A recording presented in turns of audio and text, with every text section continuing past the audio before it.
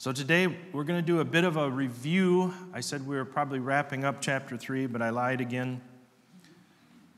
We're going to introduce chapter 4 by reviewing chapter 3. How's that? We've seen in the letter to the Philippians that this is so much more than just a joy filled letter of thanks to Paul's beloved assembly of Christ followers in the region of Macedonia. This letter is a heartfelt call from Paul to these believers to remain faithful. He's urging them to pursue the same faith that they have already been pursuing.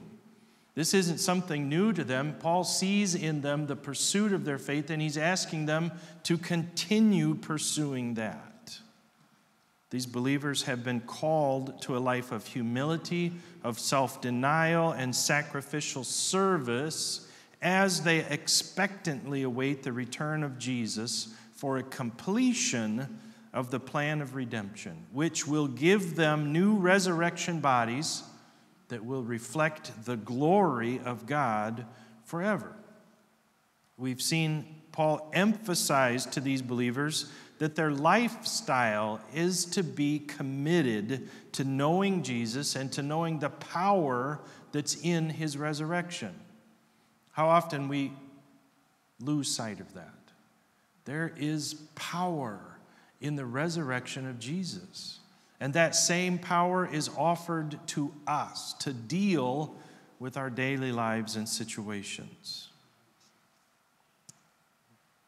Mentoring and being mentored by godly examples is one of the ways that we do that. One of the ways that we focus on the power and become more like Christ. We commit ourselves to share in the details and the suffering of Christ and be conformed to his death.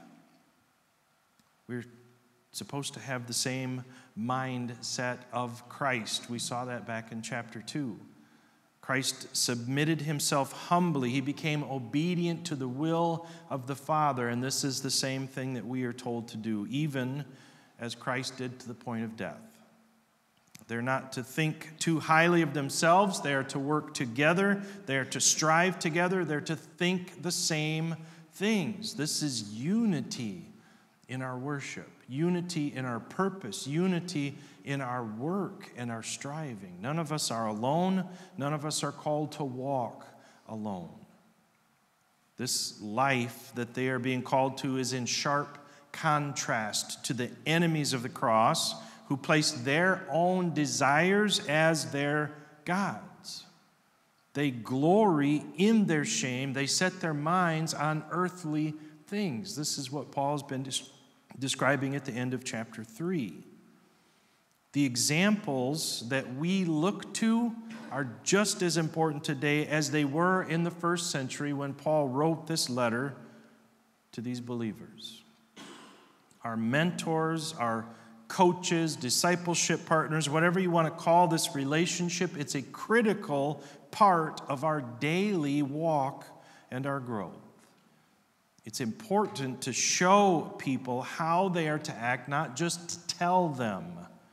Someone said, values are easier caught than taught. We pursue values like self denial and self sacrifice and humility when we see them displayed in others, when we see them in action from other people. Paul has given incredible motivation to these believers by pointing out their true citizenship in God's kingdom.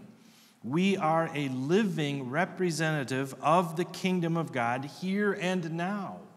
We aren't just passively waiting to get to our heavenly abode. We are living now with the conviction that heaven is our home and we're just passing through this place.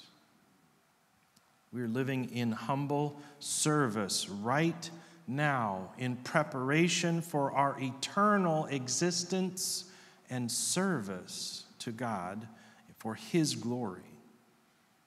Now, we may ask ourselves, why do we need to follow in the footsteps of others? Isn't it just enough for us to point to Jesus and say, be like Jesus? right? Anybody remember that WWJD? What would Jesus do? Just be like Jesus, he's perfect. Pointing out such a perfect example and telling people, just be like Jesus, be perfect, makes it seem impossible. At least it does to me. It'd be easier to point to the peak of Mount Everest and say, Get there. No matter how much I may want to be on top of that mountain, I cannot make it on my own. My efforts at perfection don't even come close to the perfection found in Jesus his divine nature, his sinless life, his powerful works, his totally unwavering obedience make me feel inept and discouraged, and it brings me to the verge of giving up. That's a horrible thing for me to say from the pulpit, isn't it? Anybody else felt like that? This is too much. I'm just going to give up. I can't do this.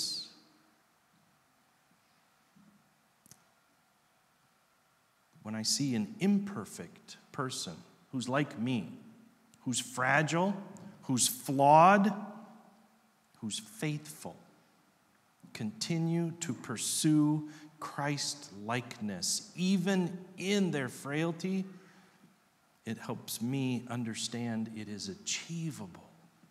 I can do it because I've seen them do it. I know that they fail. I know that they're flawed, but they're faithful in their walk. And that gives me the encouragement to continue. This is where the flawed human being and the grace of God interconnect. When those two things come together, I understand that it isn't the power of the person that are pursuing godliness, it's by the working of the indwelling Holy Spirit. That's when God gets the glory. When we see God interact with me in my flawedness, He is lifted up, not me. God, Paul, God told Paul that very same thing. My strength is made perfect in what? Weakness. Paul has given us tangible examples of flawed people who are living exemplary lives. He did that for Timothy and for Epaphroditus. The Philippians can see these people, tangible evidence of these people practicing the values of humility and self sacrifice and sacrificial living as they align their lives with the kingdom of heaven. Paul was very careful in who he picked as examples for these beloved believers, and we must be discerning in our choice of role models as well. We have to understand, first of all, that the people we follow will not be perfect yet. They will fail, they will sin. There will be no mentor without sin or without weakness here on this earth. But the best mentors learn from their mistakes and they encourage others to avoid them.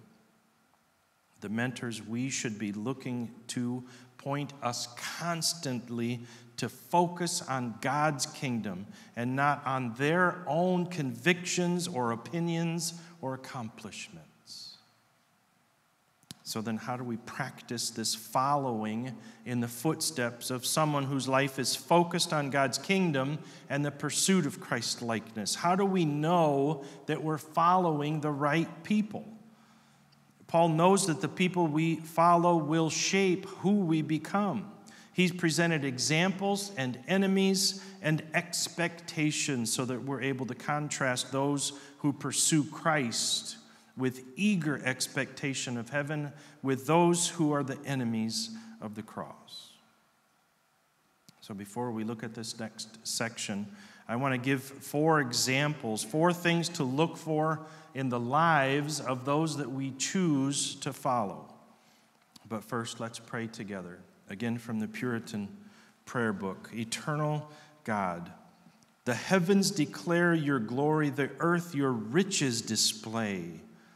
The universe is your temple, and your presence fills immensity, yet you take pleasure in created life and communicated happiness. You have made me what I am and given me what I have. In you I live and move and have my being. Your providence has set the bounds of my life, and you wisely administer all the details. I thank you for your riches to me in Jesus, for the unclouded revelation of him in your word, where I behold his person and character, his grace and glory, humiliation, sufferings, death, and resurrection. Allow me to feel a need of his continual saviorhood and cry with Job, I am vile, and with Peter, I perish, and with the publican, be merciful to me, a sinner. Subdue in me the love of sin. Let me know the need of renewal as well as of forgiveness in order to serve and enjoy you forever. I come to you in the all prevailing name of Jesus with nothing of my own I bring, no works, no worthiness, no promises. I am often straying, often knowingly opposing your authority, often abusing your goodness. Much of my guilt arises from my religious privileges, my low estimation of them, my failure to use them to my advantage but I am not careless of your favor or thoughtless of your glory. Impress me deeply with a sense of your omnipotence, that you are sovereign in my ways, in my lying down, and my end. Amen. Last week, we briefly began the discussion of discipleship. So, before we close out this section, I want to look again at the tests that Paul has given us as we seek out those discipleship relationships.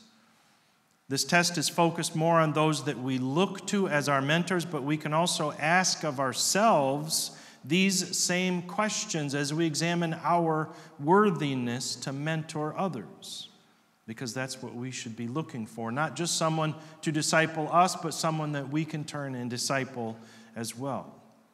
Looking again at chapter 3 and verse 19, we see some questions that we can ask ourselves.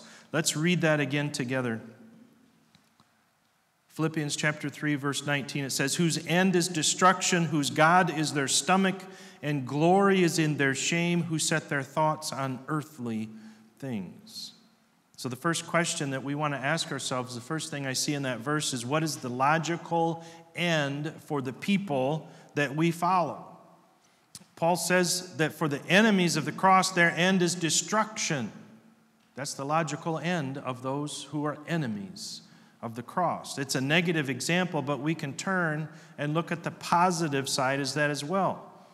Those who align their lives with God's kingdom will show a pattern of growth and maturity over their lives they will have a deepening intimacy with Jesus and gain a deeper spiritual knowledge from God's Word and from the Holy Spirit.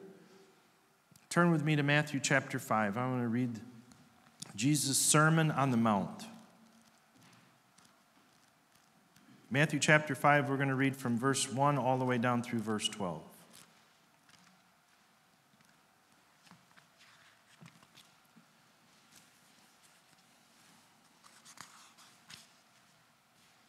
Now, when Jesus saw the crowds, he went up on the mountain, and after he sat down, his disciples came to him. And he opened his mouth and began to teach them, saying, Blessed are the poor in spirit, for theirs is the kingdom of heaven. Blessed are those who mourn, for they shall be comforted. Blessed are the lowly, for they shall inherit the earth. Blessed are those who hunger and thirst for righteousness, for they shall be satisfied. Blessed are the merciful, for they shall receive mercy. Blessed are the pure in heart, for they shall see God. Blessed are the peacemakers, for they shall be called sons of God. Blessed are those who have been persecuted for the sake of righteousness, for theirs is the kingdom of heaven. Blessed are you when people insult you and persecute you and falsely say all kinds of evil against you because of me. Rejoice and be glad, for your reward in heaven is great. For in the same way they persecuted the prophets who were before you. Those whose lives are aligned with the kingdom define their lives according to the Sermon on the Mount and not the pursuit of the American dream. This is a true blessed life. Do you want to have a blessed life and blessings for eternity? Look at the examples that Jesus preached about. Understand that we're all flawed, we will all fail. We look not at the momentary, but at the whole life. Satan wants to drag us into shame and into guilt. The promise of God's word is that if we confess our sins, he is faithful and just to forgive our sins. Paul told the Philippians that he does one thing. What is that? I forget what lies behind and I press forward towards that goal of Christ likeness. We should see in our mentors a character trait of striving to be more like Christ. There will be bumps, there will be flaws, there will be failures along that path, but we will constantly see that striving when we look at the whole. The logical end of their life pursuit will be eternity of glorifying their Savior and God because that's how they live this mortal life. The enemies of the cross are stuck in a pattern of self indulgence and self glory and the denial of God. This leads to despair and inwardness and guilt and separation from God. This life, right here and right now, is the best that they will ever have because hell is their eternal future. Do you understand that? When they say, live your best life right now, they're telling the truth. This is as good as it's going to get. The second thing that we have to ask about our mentors is what is the appetite of the people that we follow? Those who align their lives with the kingdom of God will hunger and thirst for righteousness, as Jesus said in Matthew 5 6. They will see that obedience to God is the source of their food. That's what Jesus said in John 4 34. The enemies of the cross will serve their appetites of self indulgence. These people will binge on TV and social media to find the latest trends and social constructs that they should be following. They'll gorge themselves on material goods that never satisfy. They will consume relationships like a commodity because there's no better feeling than new. They will treat people as resources to be used for what they can get and then discarded.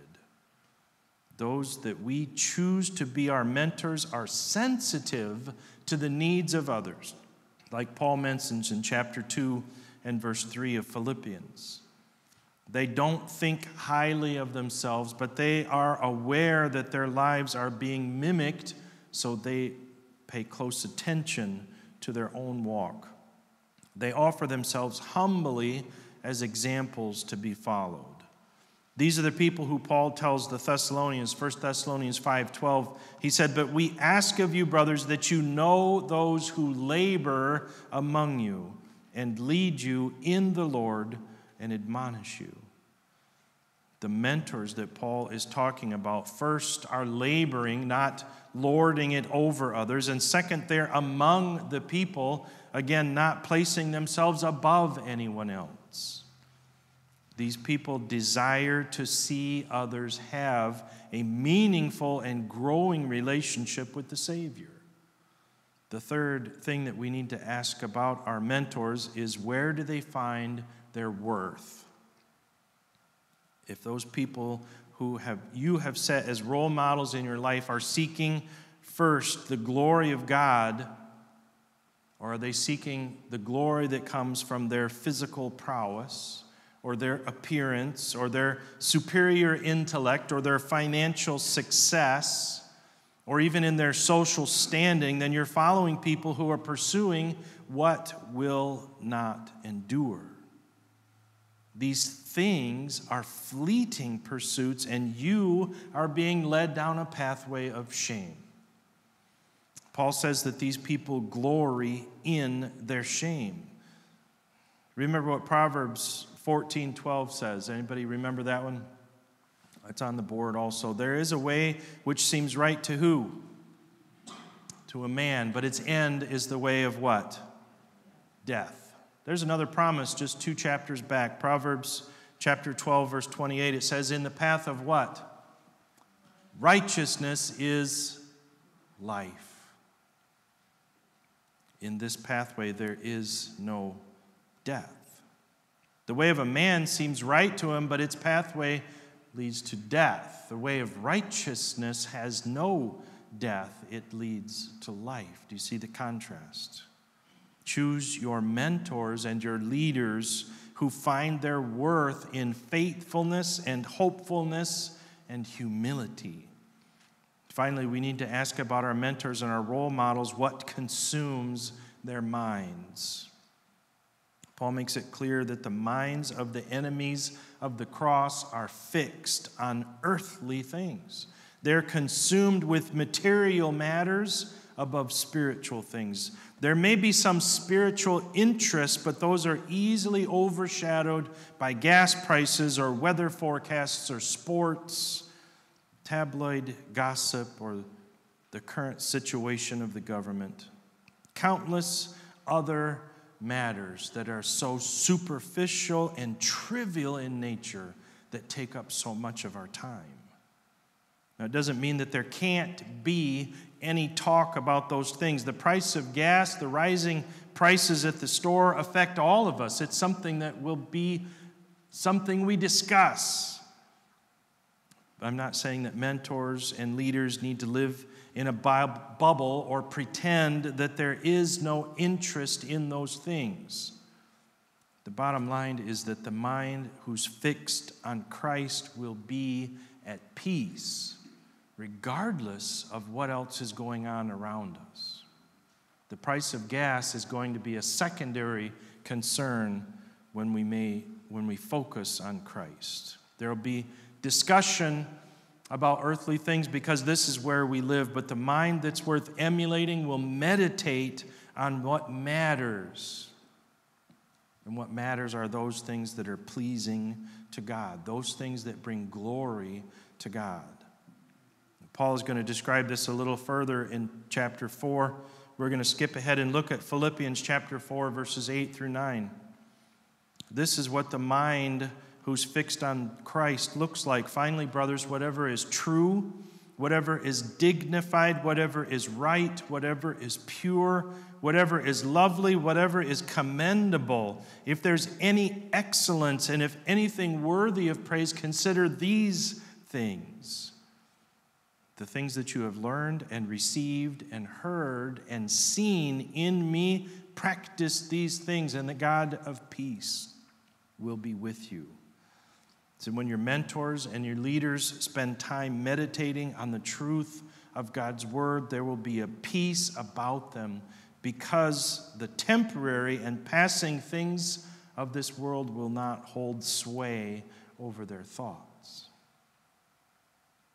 We all have a tendency to follow or to copycat others. The world knows this very well. Look at any kind of marketing campaign and you'll see that this is true.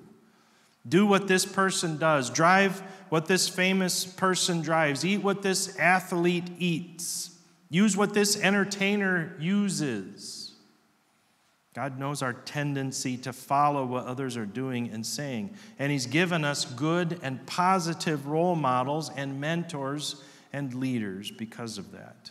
Be careful about who you are following. Make it a conscious act and don't blindly walk along without having someone to guide you. Paul says, Mimic me as I mimic Christ. He also points out two visible role models, Timothy and Epaphroditus, as examples for them to follow. He urges believers to follow those who are leading according to the example that he has given, their eyes fixed on heaven and their Savior. This brings us to the next verse, which is part of this thought process, but it's in the next chapter. There are times when the chapter breaks don't necessarily follow the thought process of the person who wrote the original letter.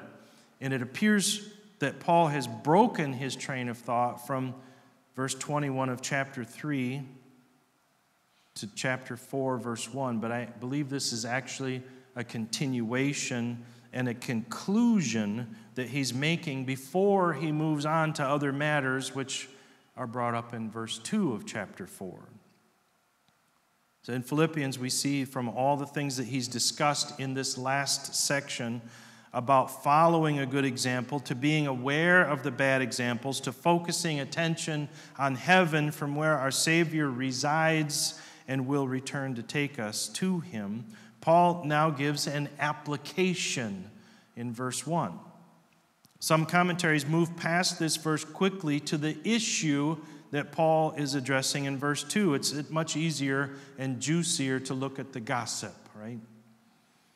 Others kind of leave this verse hanging where it is because it's the mushy gushy part of a love letter. It seems like it's very personal and private with all of this love language, so we're just going to leave it there kind of between the sender and the recipient.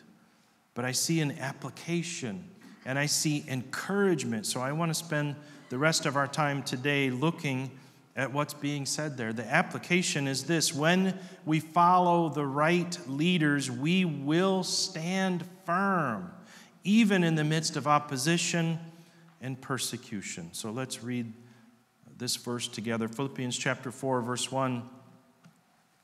Oh, I have to get back there. Therefore, my brothers, loved and longed for, my joy and crown, in this way stand firm in the Lord, my beloved. Do you see why people think that's kind of the mushy gushy part between Paul and his beloved Philippians? Loved and longed for, my joy and my crown. Such amazing, loving language coming from him. But when you get right down to the action in this verse, the verb in this verse, we see Paul is giving another directive stand firm, he said. We also see an adverb that describes the verb. The Greek word autos is translated in this way in this version. Other versions have it as thus or so. And without getting too deep into the relationship of verb and adverb, we understand that this is describing the manner or the means in which they are to stand firm. In this way, they are to stand firm. What we see from the context is Paul is probably pointing backwards to what he's just said rather than forward to the disputing sisters in verse 2.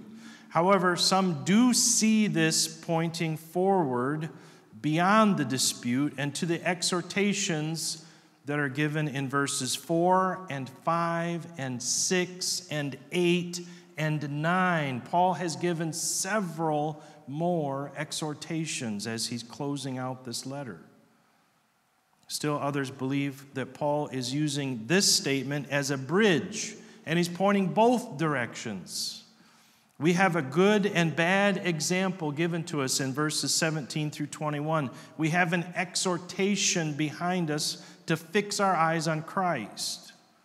He's going to show an example of two people in verse 2 who are focused on themselves and then give more exhortation to live according to the ways that honor God and show our focus is on heaven. That's a bridge pointing backwards and forwards. Today, we're not going to enter that argument. I'm going to I see how all three of those things work together and how they can all apply to our text, but today we're only going to look at the text and we'll argue semantics another time. The exhortation that's in front of us in this verse is to stand firm in this way. Whether that points backwards or forwards, we have to understand this in itself is extremely important. If we don't follow godly examples and have mentors and leaders that guide us in the way of righteousness, we won't stand firm. If we follow our desires and passions, which change rapidly, we won't stand firm. If we focus on our rights and our privileges, which is what the examples in verse 2 are doing, we won't stand firm. I think we can all agree that the church, the way of thinking and the devotion that we have to God's word, is under attack. It isn't new. This isn't something new to us. It's not even unexpected. Jesus warned his followers in John chapter 16, verse 33. He said, In the world you will have tribulation. And Paul says the exact same thing. He echoes what Jesus said in Acts. He said, Through many tribulations we must enter the kingdom of God. John MacArthur, in his commentary, points out there are three sources of the assault on the body of Christ. First is the world. Since the Garden of Eden, there have been enticements and lures that are trying to do their best to get the attention of believers and draw our focus away from the pursuit of Christlikeness. If the temptations fail to draw our attention away and get us to join them, then we're persecuted for not giving in and being drawn away.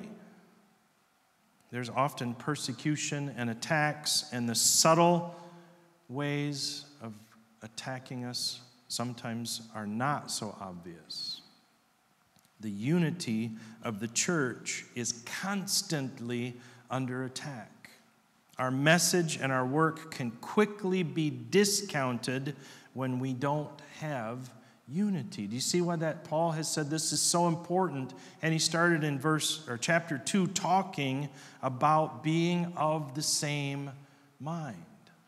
When the world sees us grumbling and quarreling with each other and our unity under attack, they say that message, whatever they're preaching, doesn't really matter because they don't believe it. Our message is under attack for its validity, it's under attack for its authority. It's called old fashioned, it's called out of date. It doesn't apply anymore. It doesn't hold the same power with this enlightened generation, is what we're told. The direct attacks on the church have always led to growth it's always led to a spreading of the gospel into further regions. The indirect attacks, the subtle attacks, cause us to doubt ourselves. Doubt causes us to stop sharing the gospel. If I doubt that this is true, or if I am not unified with what the church believes, I'm not going to share it anymore. The church becomes then a gathering place rather than a power source. This is another reason for us to be in discipleship. We share our doubts and our fears, and we encourage one another. We build each other up. We come together here and now to worship God together and to be unified in our purpose so that when we're out there, we're bold in our gospel sharing exactly the thing that the author of Hebrews addresses, chapter 10, verse 25. It says, Not forsaking our own assembling together, as is the habit of some, but encouraging one another. And all the more as you see what? The day drawing near. Do we see the day drawing near? Then how much more important is it to come together and encourage each other? The second source of our attacks is our own flesh. The sin nature is always going to try to get us to look to our own desires. Remember what Jesus told the disciples when he found them sleeping instead of praying in the garden. Matthew 26, 41, it says, Keep watching and praying that you may not enter into temptation. Why? The spirit is willing, but the flesh is weak. This is why Paul has spent so much time warning the Philippians to fix their gaze on heaven. Think about what awaits us.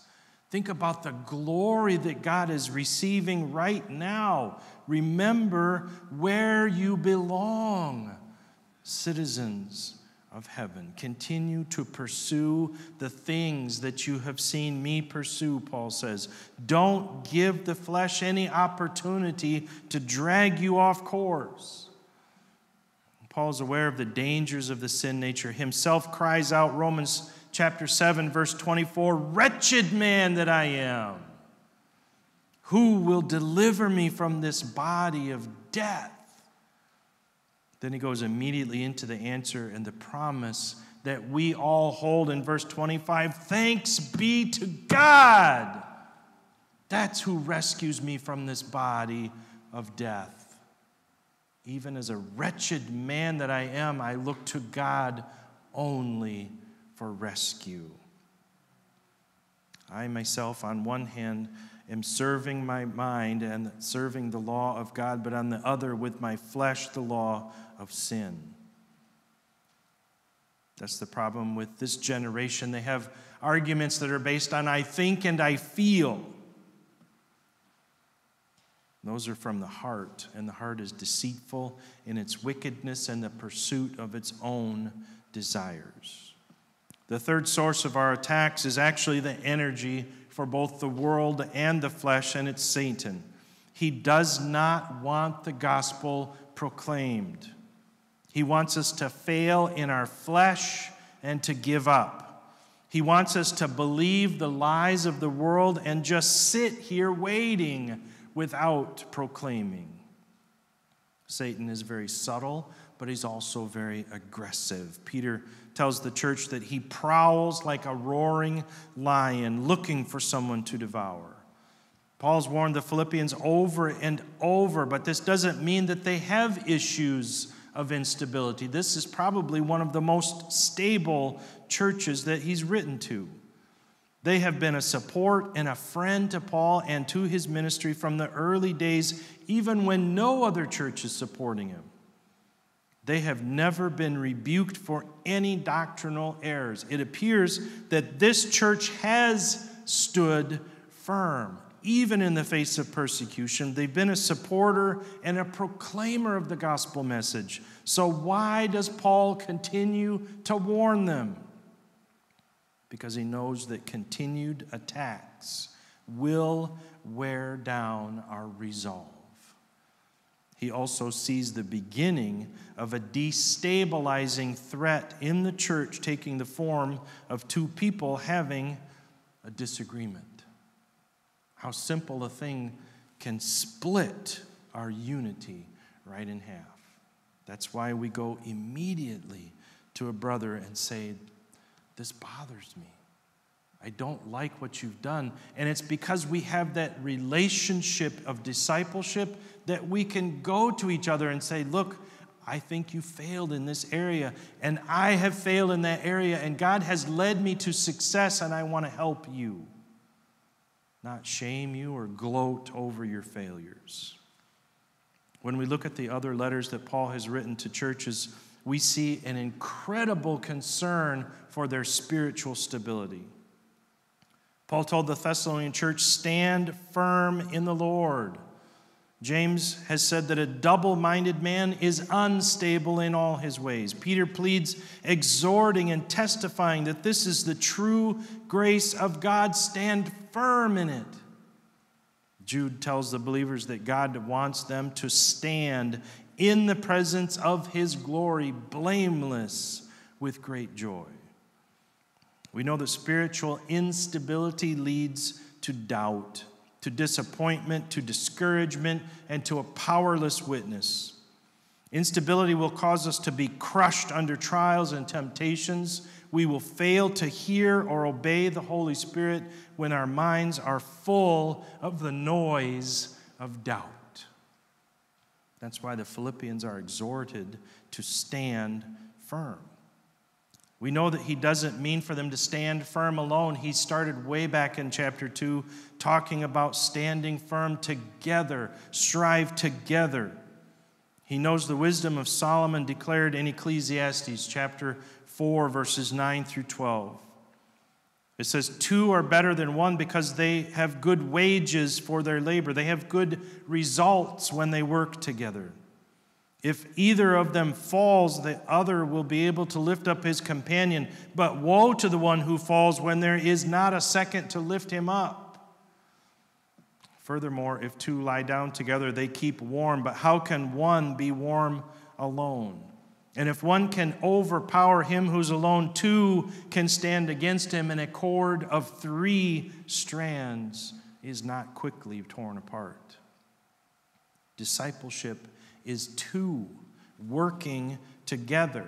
Even better, the cord of three that's not easily broken. When we have that relationship of discipleship, that's the exhortation that Paul is making in this verse. It opens with the transition word therefore, which is our clue that Paul is going to build upon what he's already said. That's why I tried to do the review before diving into this verse. Paul has been directing the believer's attention to the life of Christ. He's been urging them to continue to pursue Christ likeness. He's the perfect example of one who stood firm in the presence of Satan and temptation and persecution. Paul doesn't leave the exhortation on its own, but surrounds it with gracious, loving words that express his heart as a pastor. My brothers, loved and longed for my joy and my crown. He makes sure to affirm once again his love for them, his deep care and concern for their spiritual welfare before he exhorts them. That's what the relationship is all about. This is an expression from the heart of Paul, not some manipulative words of flattery. The Greek word for loved is the adjective form of agape. That's the deepest, richest, most meaningful word for unconditional love. This is what we look for in those who lead us.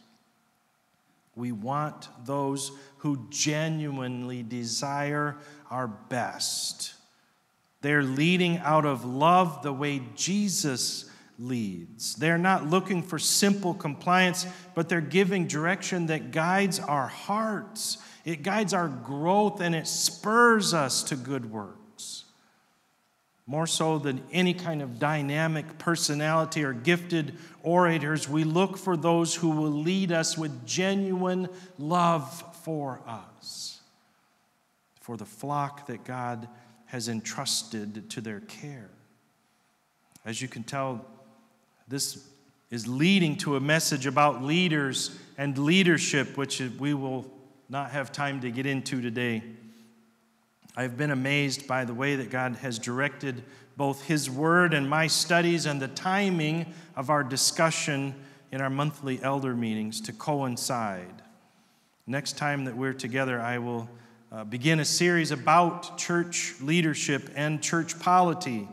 How exciting that is, because it fits so well right here with what Paul has been talking about and how he has been guiding the believers in Philippi. Let's pray together. Loving Father, what a joy Paul found in guiding believers in their spiritual walk. What encouraging words he wrote to the dear saints at Philippi, whom he considered his joy and his crown. I pray that I may live my life for Christ and stand fast in him, so that I will be used by you to witness in word and in deed to all with whom I come in contact. It's in Jesus' name that I ask these things and pray. Amen. This has been a free presentation by Hickory Corners Bible Church. If this ministry has been a blessing to you, please consider supporting us through hickorycornersbible.org/give. Hickory Corners Bible Church reserves all copyright protection under applicable law and in accordance with our Christian Copyright Licensing International streaming license. For more information about us or to connect with us, please reach out through our Hickory Corners Bible Church Sermons YouTube channel, our Hickory Corners Bible Church Facebook page, or our hickorycornersbible.org website. Our pastors are also available to talk weekdays from 9 to 4 Eastern at 269 671 4505. We hope you will join us next time as we continue helping ordinary people passionately follow Christ.